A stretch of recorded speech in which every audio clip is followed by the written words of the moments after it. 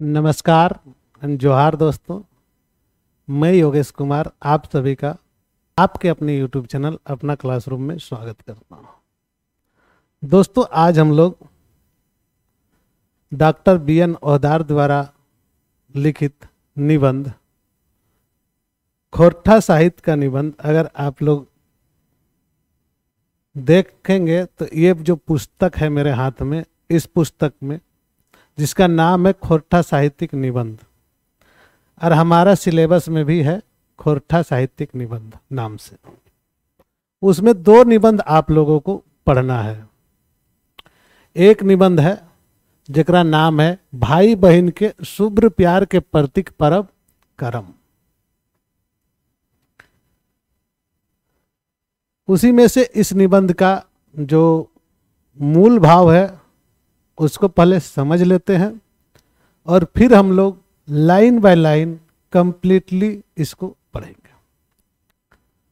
दोस्तों, मेरा सौभाग्य है कि जिस शिक्षक के छत्र छाया में मैंने खोरठा सीखा है और पढ़ा है, उन्हीं के लिखित निबंध का आज मैं आपके सामने रखने जा रहा हूँ।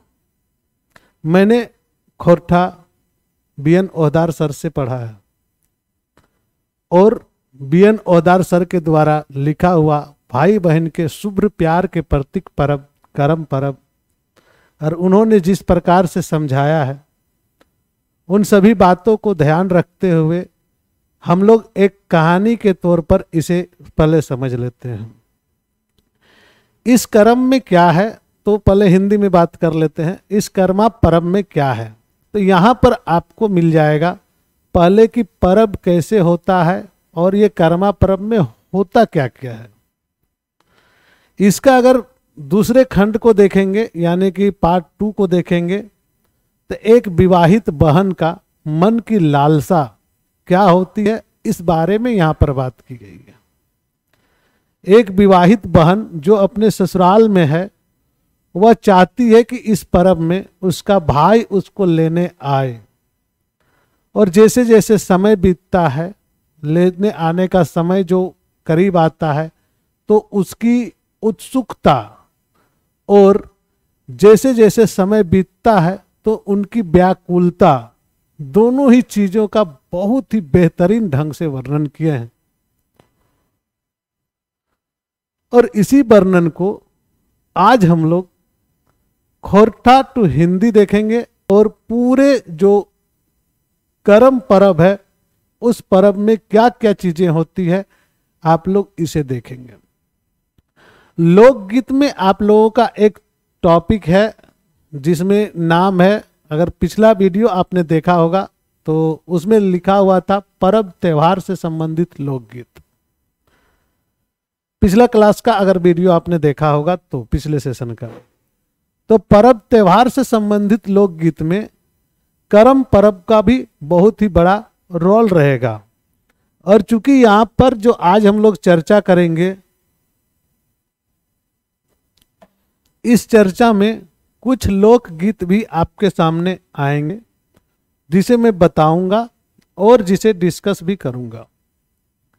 तो इस टॉपिक को अगर आप सही से कर लेते हैं तो आपके लोकगीत का एक टॉपिक भी साथ में हो जाता है।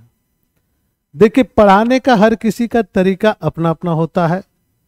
मैं कोशिश करता हूँ कि आप लोगों को कम से कम मेहनत में ज़्यादा से ज़्यादा चीज़ें उपलब्ध हो जाए। तो चलते हैं पहले खोरठा, फिर खोरठा को समझाने के लिए मैं हिंदी लैंग्वेज का प्रयोग करूँगा और दोनों का आप लोग तालमेल बैठाएँगे। चूँकि यह निबंध थोड़ा बड़ा है तो कंटिन्यूसली भाव से देखेंगे स्किप करके देखेंगे तो आपके क्वेश्चन छूटेंगे। हम लोग यहाँ पर कंप्लीटली आपको पूरे निबंध पर चर्चा कर देते हैं। उसके बाद अगर पूरा वीडियो देखेंगे तो आपके कहीं से भी प्रश्न पूछेंगे, जाएँगे खोरठा में तो आपके हल मिल जाएँगे। क्योंकि यह प्रकृति का पूजा है तो प्राकृतिक नज़रों से हम लोग देखते हैं। राखी राखी और भैया दूज, जो पर्व मनाया जाता है, उसी पर्व का हम लोग बात करते हैं भाई बहन का पर्व राखी और भैया दूज, जैसन भाई बहन के शुभ प्यार से सारोबार परब, तिहार जो है भारतीय संस्कृति के अच्छे संपत्ति है। झारखंड क्षेत्र अनूठा और महान पर्व करम। भाई बहन के शुभ प्यार के प्रतीक पर्व हके।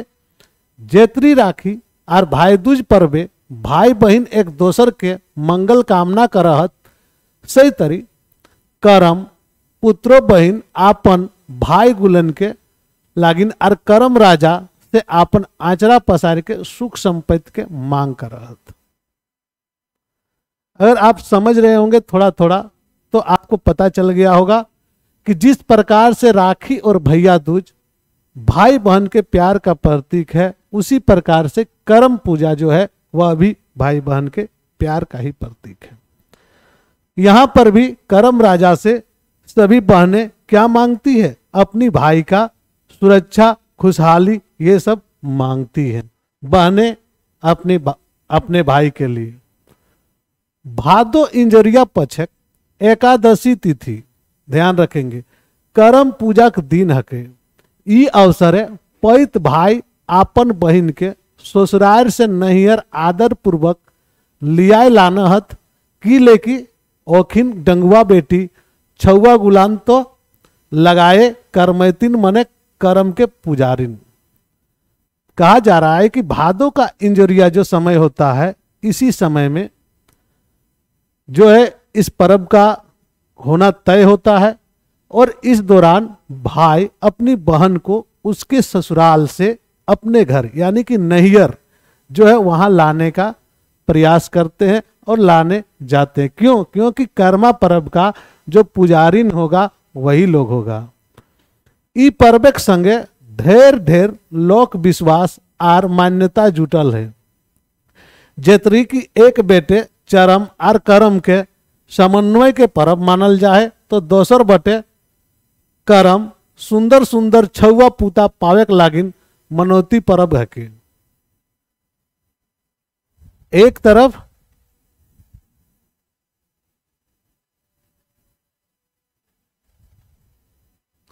एक तरफ़ यह कहा जाता है कि यह कर्म और धर्म जो है, उस दोनों के बीच का कहानी है। और दूसरी तरफ़ यह कहा जाता है, कर्मा पर्व जो है, वह सुंदर सुंदर बेटे का कामना के लिए भी करता है। शैले कर्मैतिन, आपन पूजक थारी एगो गोल मटोल पुष्टगर खीरा राखत एक गोल मटोल और पुष्टगर खीरा उस थाली में रखता है और कहते हैं कि इसी प्रकार का मेरा जो है बच्चा भी हो। आर करम राजा से कामना करहत कि ओकरा सुंदर सुडोल बेटा मिले। आपन कोई प्रियजन के परदेश से घर घुर आवे खुशी मनावे परब भी करम परब हो कहने का मतलब है, बहुत तरह की कहानियाँ इस करम परब से जुड़ी हुई है। पहला कहानी तो भाई बहन का शुभ्र प्यार का है प्रतीक। दूसरा कहानी क्या है कि इसमें बेटे के लिए जो कर्मेतिन है, वह करम राजा से अपना वरदान मांगती है और उसके बदले में एक सिडोल खीरा जो है, उसको अपने थाली में रखती है। कि उसी खीरा के आधार पर कहता है कि सुडोल बच्चा जो है, उसको मिले। तीसरा चीज़ होता है कि कोई भी प्रियजन जो परदेश जाता है तो उसको घूरने के लिए भी यह एक परब है। करम एक, बेटे, जुवक जुलती लागिन, आर रस आर राग लब आर ताल के परब हके तो दोसर बटे धान रोपनिक हाइट टूटा काम से फुर्सत पावल किसान मन ही अखलाक के अभिव्यक्ति मिले है, ई पर्व है। मतलब कहने का यहाँ है, एक तो यह प्यार का पर्व भी है, और दूसरा, चूँकि इस समय, यानी कि भादो का इंजोरिया का एकादशी तक लगभग धान रोपनी का काम हो जाता है। और जब धान रोपनी का काम हो जाता है तो उसके पश्चात जो काम का थकान होता है, उस थकान को कंप्लीट करने के लिए इस पर्व का भी आयोजन होता है। बहिन गुला गोटा बच्छर ई पर्व प्रतीक्षा कर रहा है कि जे पर्व जन जुनार नैहर जैक रीति है, चाहे आन दिन जैक मौका मिले, चाहे नहीं मिले। बोल रहे कि इस पर्व में नैहर जाने का एक मौका मिलता है, चाहे बार बार जाने मिले या नहीं मिले। यहाँ पर दो बातें और देख लेंगे कि कर्म पूजा का जो नियम है, वह नियम क्या है? कहानी तो दो तरह के, आप तीन तरह का आप लोगों ने देखा कि यहाँ पर एक धर्म कर्म का कहानी है। एक है कोई भाई अमीर बन के आता है गाँव में, उसका भी कहानी है। दूसरा है बेटे की आस में कहानी है। तीसरा भाई बहन के प्यार का चौथा भाई बहन के प्यार का कहानी है। तो कहा जाता है क्या, करम पर्व जो है इसमें सात दिन होता है। पाँच दिन, तीन दिन। इसमें क्या कहता है? बाला उठावल जाए और दिन सब कर्म तीन। बिहाने के बेरा, गीता नादे गाँव से दूर कोनो नदी नाला धारे। जाहत और हुआ नहा छोड़ के नहा धोए के दू गो बांसे नावा पथियाए, जकरा के डाला कहल जाए वहाँ से बालू उठाए के ले आहते। और बालू भरल डालाए, धान गेहूँ, जनरा, बूट, उरीद, कुर्थी, गोटा बुन देहत मतलब उस बाली में क्या करता है? ये सब चीज़ें का जो बीज है, उसको रोपता है। जैसे यहाँ पर इमेज में आप देख रहे होंगे, ये जो बढ़ता है, वही बीज का है, ठीक है? डाला के सेवा, बरदास लागिन तीन या पाँच गो टनक करमायतीन जकरा डालैतीन कहल जाए बाछल जाहत कि डाला के गांवक पाहन आर नाय तो मुख डालेतीन घरे राखल जाए पैत दिन। प्रत्येक दिन वहाँ रखल जाता है। बेरा डूबल कर पाछू गाँव एक आखराए आखरा किसको बोलते? ये भी हम लोगों ने चर्चा कर लिया है। गाँव एक आखराए डाला के लाइन के करमैतिन गुलिन, डाला के चारों और घेरा बनाए के घूर घूर के नाच और गीत गाव हथिन और डाला के जगाव हथिन। एकरा जावा जगावे कहल जा है और गीत के जावा जागा गीत कहल जा है मतलब इस समय एक जगह में सभी युवतियाँ या महिलाएँ जो कर्मैतिन है, वे लोग क्या करते हैं, जाते हैं और उस जगह पर सब लोग गीत गाते हैं नाचते हैं और इसी को हम लोग जावा गीत या जावा जागा गीत भी कहते हैं। जावावेक रीति है और चार पाँच दिन पेछू डालाई बुनल गोटा अंकुर जाए आर पियर पियर तीन चार इंच के पौधा बन जाए, जैसा कि यहाँ पर इमेज में हमने दिखाया। क्या होता है, चार पाँच दिन में वो अंकुरित हो जाता है और उससे पीला पीला जैसे पौधा निकलता है, पौध, उस प्रकार का पौध निकलता है। और इसी पौध को क्या कहा जाता है? जावा फूल कहा जाता है। आंधार घरे राखल के चलते जावा फूल पियर रंग के हवा है। मकिन, आरो, पियर करक लागिन करमैतिन ओका हरदी पानी पटावा तुम जितना पीला होगा, उतना ही उसका जावा एट्रैक्टिव लगेगा और माना जाएगा कि उसको उतना ही बढ़िया है। इसलिए क्या कहता है, उस पर पीला पानी या हल्दी का पानी इस पर डाल दिया जाता है, ताकि वह पीला और दिखे। बाला उठावे दिन से लड़के कर्म पूजा के दिन तक कर्मैतिन बड़ी निष्ठा और संयम से रहत। ई मांझे जरल पोड़ल तीता, आमत, मांस मछली और जूठा भोजन नहीं करत।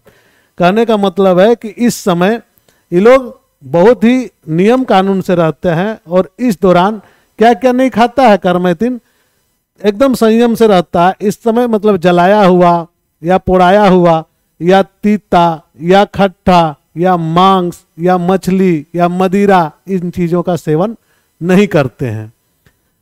करम पूजा के दिन गाँव पहान, बन जाए के करम गाछे दूगो पुटुस आर सुडोल डायर के काट के आना है, और हाँ कर्मेक दियो डायर के एक के गाछे हवेकटा आया ज़रूरी। यहाँ करम का जो दो डाली काट के लाया जाता है, यह दोनों डाली एक ही पेड़ का होना आवश्यक है। अलग अलग पेड़ का दो डाली नहीं काट के ला सकते हैं। ई दुयो डायर के पाहन गाँव के बाहर राइक छोड़ है, जकरा गाँव के बेटा छुआ मन करमैतिन के भाई गुला, ढोल नगड़ा बजाई के गीते नादे गाँव के आखरा लाइन के गाड़ दे उसके बाद क्या करता है, उसको जो, वो जो काट के लाता है, वो उसको छोड़ देता है गाँव के बाहर में।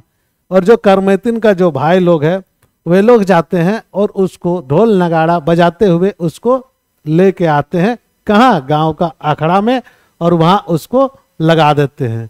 गाँव एक पहन एकर पेचू हाक पैर के करमैतिन के आंखराय आवेक नेवता दे दे है और भादो महीना के अंधरिया रहते गाँव एक करमैतिन धीवेक दिया जगमगोले पूजा थारी हाथे लेके जखन पाता पाती चले लागत तखन ईसन बुझा है कि जैसे आकाशिक तारीगन आज झारखंड गाँव नए में घूर फिर रहा है बोलते, जब पूजा, जो पुजारी है, मुख्य पुजारी जिसको बोलते हैं, वो जब करमैतिन सबको निमंत्रण दे देता है कि हाँ आप पूजा करने के लिए आइए तो उस दौरान जो वे लोग थाली में दिया जला के लाते हैं तो वह अंधरिया रात में इस टाइप से दिखता है, जैसे कि आकाश में तारे टिमटिमा रहे होते हैं, उस तरह से उनके हाथों का थाली को दिखता है। पूजक लागिन बांसक टेकी, राखल, कमल कमुदनी, केवड़ा और कादो फूलक हुलुक हुलुक सुगंध, और करमैतिन के गाछ से उठल कांचा हरदिक उबटन, और मेहंदिक मैसर गंध। लुहकी भद्राय बासाते संगे करे है, लकमे लकमे चारी बैठे पत्थर जाहे। यहाँ पर बड़ा ही सुंदर वर्णन किए हैं ओहदार सर ने। कि उस समय जो थाली में जो रहता है, सुगंध, सुगंधित फूल जो पूजा के लिए आता है, उसकी खुशबू, अगरबत्ती की खुशबू और साथ साथ में जो करमैतिन लोग अपने शरीर में सुंदर दिखने के लिए जो उबटन लगाते हैं, उसका खुशबू से आसपास का जो वातावरण है, वह एकदम महक जाता है, चहक जाता है।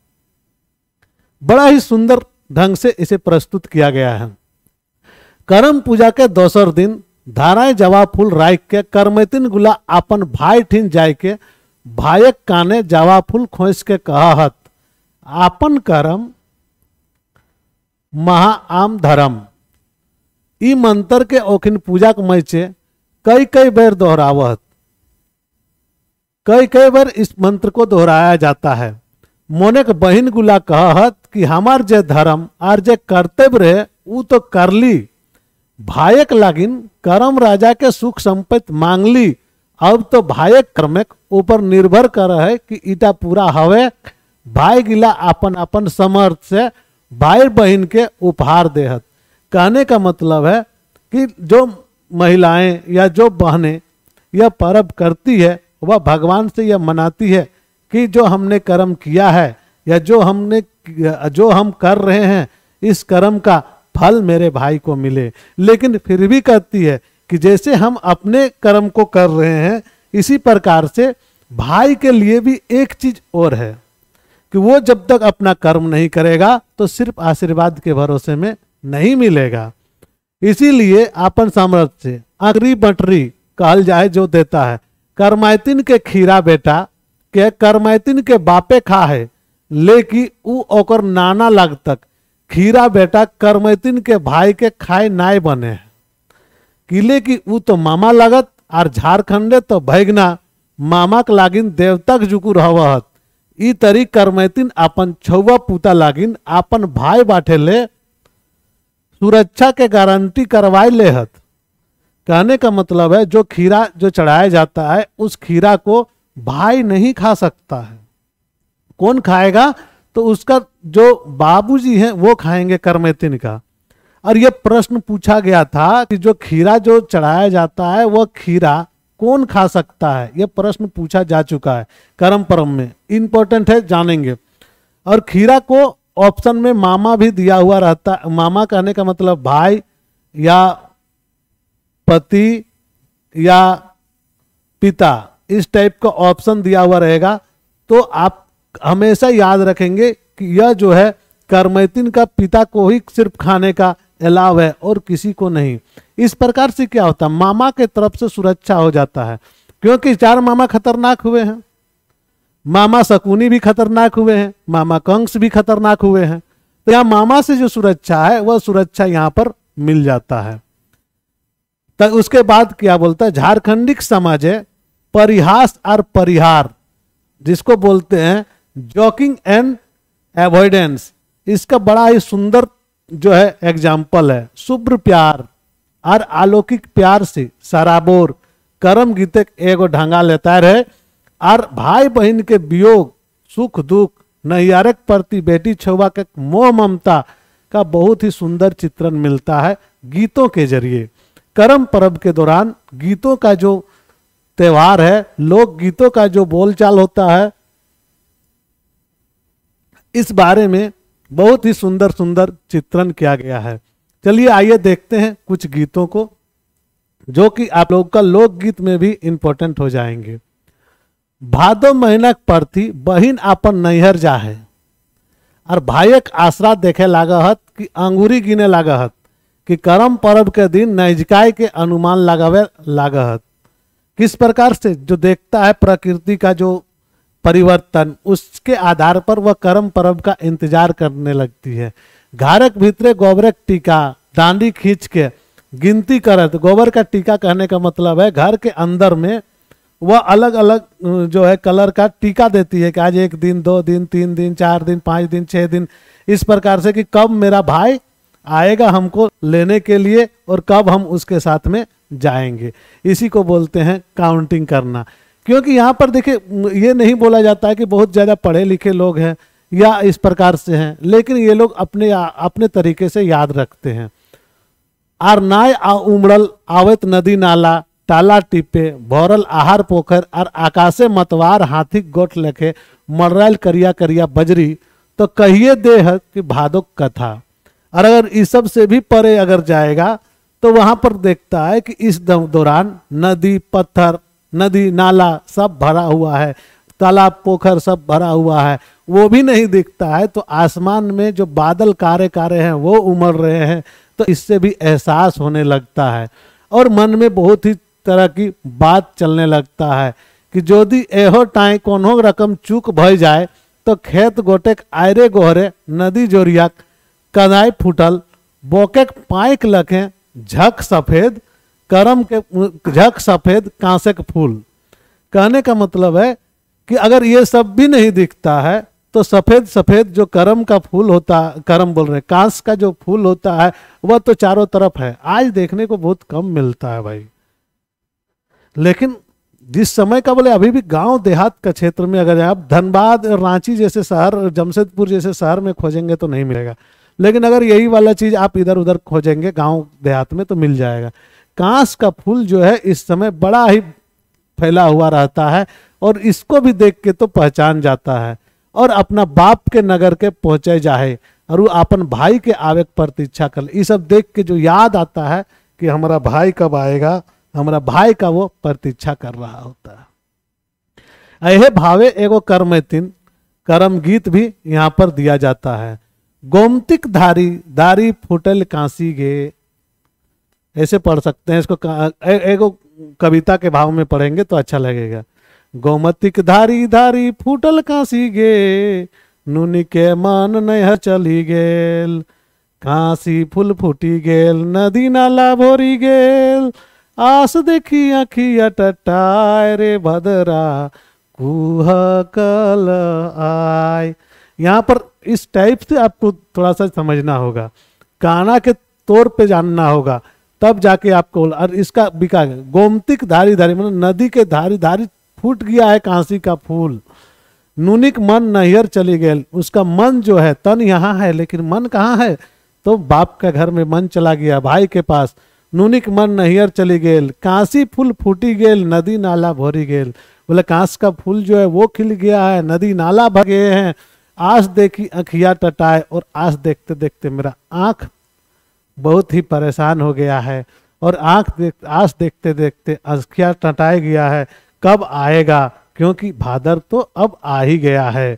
यह अपने भाई से कहता है, इसी तर्ज पर कई तरह, देखिए लोकगीत भी आपका यहाँ से हो जा रहा है, इसलिए इतना ज़्यादा ज़ोर दे रहा हूँ मैं। आपन भाई प्रतीक्षा बहन के आँख टटाए जाए तैयो भाई नाय पहुँचे है, और वो अनुमान लगाव है कि भाई के तो माई, जुनजुनार पठवत हते, लियन करे की मकिन भाई तो एक हके। काम काजी, काम निहार, की जानी याद हते न बिसराए गेल हतक। ए भावे के एगो गीत और दे दिया है। ओदार सर बड़े ही ज़बरदस्त लेखक है, खोरथा के। और उन्होंने कविता को और गद्य को और पद को मिश्रण करके इस टाइप से आपके सामने रख दिए हैं कि आपको कहीं भी जाने का ज़रूरत ही नहीं है। पूरा रस भरा हुआ है इनके जो लेखनी में। बोलते हैं कि यहाँ पर जो कहते हैं कि भाई तो एक ही है मेरा, और भाई के साथ में अगर इस टाइप से कुछ हुआ होगा कि वह भूल गए कामकाज के चक्कर में, क्योंकि एक ही को कमाने वाला है मेरा भाई घर में। माँ तो बोली होगी, लेकिन क्या उसको याद रहा होगा? तो उसमें, परल भादर मास, लागले नहीं हर एक आस मैया कही कही, भैया के पठाए मेरे भादर को कुकल आए। फिर से यहाँ पर गीत दे दिया है। करमैतिन के मने मने सोचा है कि भाई तो आवेते हतक, लियन करे। फिर वो अटक कर लगावा है कि जानी कौन भाई थे अगर जिसका ज़्यादा भाई है तो? जिसका एक भाई है तो वहाँ हो गया। जिसका ज़्यादा कौन भाई? अगर बड़का दादा आए थे कि मंझला दादा की जानी कि छोटा भाई आवे पारे। वो मने मन अपना भावना व्यक्त नहीं कर रही है पर मन मन में बहुत चीज़ें को वो सोच रही है।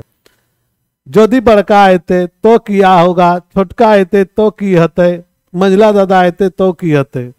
तो फिर सोचती है, ऊ मने मने सोचे कि बड़का दादा और मंझला दादा नहीं आएगा, नहीं आता सेटा बेस की लेकी, ओखिन दियो तो बड़ो लोग। वो लोग दोनों तो बड़ा आदमी हो गया है। वो लोग अब इस सब चीज़ को नहीं वैल्यू देता है। इसलिए वो लोग नहीं आएगा। लेकिन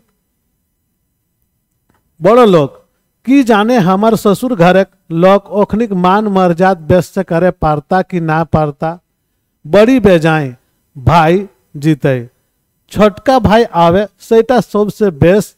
किले की यदि हमार ससुर घर एक लोग हमरा नैहर भेजे में कटमट करता तो वो कांदा कुंदी करके कोनो रकम से विदाई बोलता है, मेरा बड़ा भाई और मंझला भाई, दोनों तो अमीर है। उसको तो सबसे पहले यहाँ आएगा और मेरा ससुराल वाला, अगर उसको मान सम्मान नहीं कर पाया तो बड़ा ही समस्या हो जाएगा। लेकिन अगर छोटा भाई आता है तो बड़ा अच्छा होगा, क्योंकि वो थोड़ा सा कमज़ोर भी है। और दूसरा बात है कि अगर मेरा ससुराल वाला अगर नहीं भेजने करेगा तो वो रो दो के वो ले लेगा, ले जाएगा हमको किसी तरह से। लेकिन वो लोग नहीं ले जा पाएगा। बड़का हो भैया, मती गेले अहा कहाँ पाब पाकल पान हो? अरे हो हो हो, मंझला हो भैया, मती लगे अहा कहाँ पावन बांधल खसिया हो? छोटका हो भैया, तोहे चलल अहा कांदी कांदी मांगा भे विदाई हो, अरे हो। दीदी के कहर दे विदाई हो। ये जो गीत है, यह गीत में कह रहा है कि बड़ा भैया तुम मत आना, बड़े भाई तुम मत आना, कहाँ पाएँगे पान और जर्दा? बोलते, मंझला भाई तुम मत आना, कहाँ पाएँगे हम खसिया जो तुमको खिलाएँगे? छोटका भैया तुम ही चले आना। रो के, हंस के, जैसे भी हो, मेरा विदाई करा लेना।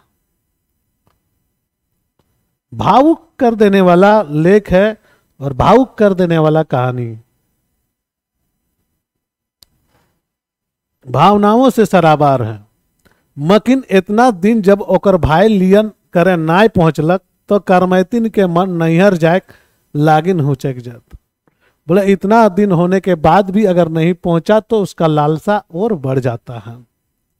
और ओकर मने इतना बढ़ जाए कि डहरे बाटे, जवैया राही गिला, के देख ओकरा बुझाए लाग है कि जैसे ओकर भाइये आए रहल कोई भी राही रहता है तो उसको लगने लगता है कि उसका भाई आ रहा है, और भीड़ में से किसी को भी देखने पर वह पूछ बैठता है, या पूछ बैठती है कि कौन आया है। तो उसी में एक गाना तो हर ससुर लागत हूँ तो कहा ही ना। के जौन तो हर भैंसुर लागत हूँ तो ऊ कह ही ना ना। एक हिंदुओं में कोई ना ऊ तो हमार सहोदर पिटिया छोटा भाई आ रहल है। देखा देखा, ठीक से। चिन्हा तो छोटा भाई। सिर्फ़ कल्पना मात्र कर रही है। पूछ रही है। किसी से पूछ रही है कि कौन है? देखो तो क्या वो तुम्हारा भैंसुर लग रहा है या तुम्हारा ससुर लग रहा है या मेरा छोटा भाई है? कौन आ रहा है इस प्रकार से? कल्पना मात्र से ही वो दौड़ के अगवानी करने लग जाता है। पोखरिया के भीड़िए कौन लोग आवे? चिन्ही दी है। लागे ससुरा, नहीं लागे भैसुरा, चिन्ही दी है। ई तो लागे सहोदर भाई हो, चिन्ही दी है। कहने का मतलब है कि वो भैंसुर है, ससुर है या कौन है? थोड़ा सा पहचान दो हम दूर से देख नहीं पा रहे हैं। लग रहा है कि तालाब जो पोखरिया है, उसके किनारे से वो आ रही है। उसको पहचान दो, कौन है? फिर वो कटी ठिठके के ठाठ भर जाही और आपन घारे दशा देख के सोचे ही कि कहीं जे बैठवी, आपन भाई के खाटी बैठवी कि माची बैठवी। बहुत सोच है, बहुत प्रतीक है इसमें और बहुत सारी चीज़ें हैं। बोलता है, खाची माची में तो ससुर और भैंसुर बैठता, छोट भाई लाए तो हम सोना पलंग ठीक कर ले।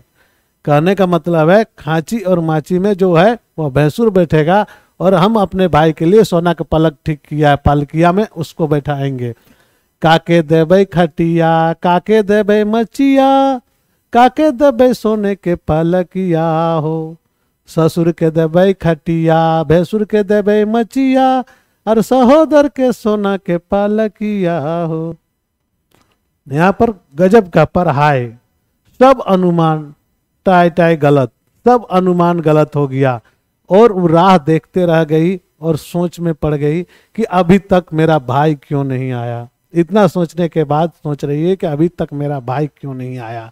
ओकर भाई तो रहे नाय करमैतिन फिर सोचो कि आखिर ओकर भाई की ले नाय अयलक एखन तक लियन करे ले। अब मन जो है, व्याकुल होने लगा कि क्यों उसका भाई अभी तक नहीं आया लेने के लिए?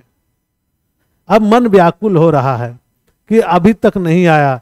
ऊ रकम रकम के अटक अटकर लगवाही। हमार छोट भाई तो गरीब लोग, की जाने कोनो संदेश तंदेश, जुटवे पारल हवत की नाय, की जाने सैले उ संकोचक बसे ना आयल रहे। इतना महँगी बेसाए किनो पार तक भला, से संकोचे ना आयल रहल। ना हमरा कुछ चाय चाहिए ना तो पंजनी चाहिए ना खोना, ना चांदी। ना लुगा फाटा, बस सिर्फ़ तो चल आए हैं हमारे भाई। तो उठे हाई आई हैं मकिन, आई हैं ज़रूर। कटी को देरी ना करी है, कटी को ना सुस्त है, संकोच ना करी है। फिर बहन मन मन में बोल रहा है कि देर हो रहा है, अब तक तो आ जाना चाहिए।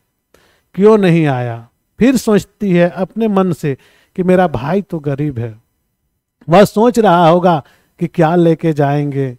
क्या देंगे हम अपने बहन को, इस कारण से नहीं रहा तो हमको कुछ नहीं चाहिए, तुम सिर्फ़ आ जाओ। तुम सिर्फ़ आ जाओ और जो भी है, उसको, हमको कुछ नहीं चाहिए।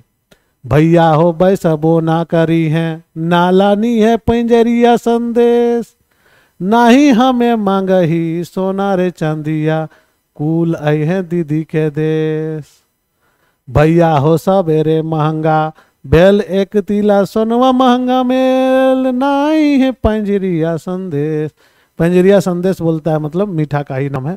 कि अगर नहीं खरीद सकते हो तो मत खरीदो, लेकिन तुम आ जाओ।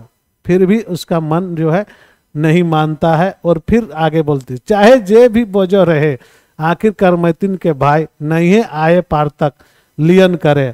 नदी नाला थिराई गेल, आहार पोखर धीरे घूम गए बोके पाइक लखे जे चरक कांस फूल झर जाए मनेक भादोक सोब चिन्ह मुंदा मेटाए जाए सिराए जाए करमैतिन के बाँचल कुचल आसरा टूट जाए और दुखे व्याकुल है जाही और आर आँख के डर डर लौर बोहे लागे है। कहने का मतलब यहाँ पर है कि धीरे धीरे समय बीत जाता है और भाई उसका लेने के लिए नहीं आ पाता है। उसका आँखों में आँसू सूखने लगता है। जैसे कि पोखरिया का अब जो पानी है, वह थोड़ा सा शांत हो जाता है। नदी का बहाव कम हो जाता है। कांस का जो फूल है, वह फूल अब झड़ने लगते हैं।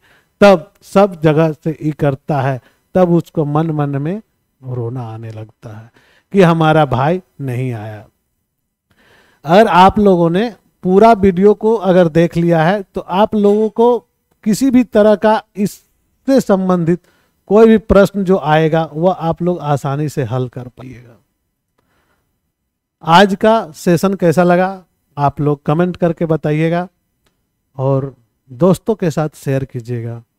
क्योंकि जैसे ही वैकेंसी जे एस का इंतज़ार कर रहा हूँ और जे एस की वैकेंसी जैसे ही आप लोगों के सामने आ जाएगी, यहाँ पर लाइव क्लासेस मैं स्टार्ट कर दूँगा। तो ज़्यादा से ज़्यादा जुड़े। प्रतिदिन दो से तीन क्लासेस होंगे आप लोगों को और 90 डेज़ जो भी समय मिलेगा आप लोगों का, उस दौरान आप लोगों की कंप्लीट सिलेबस आप लोगों के हाथ में होगी।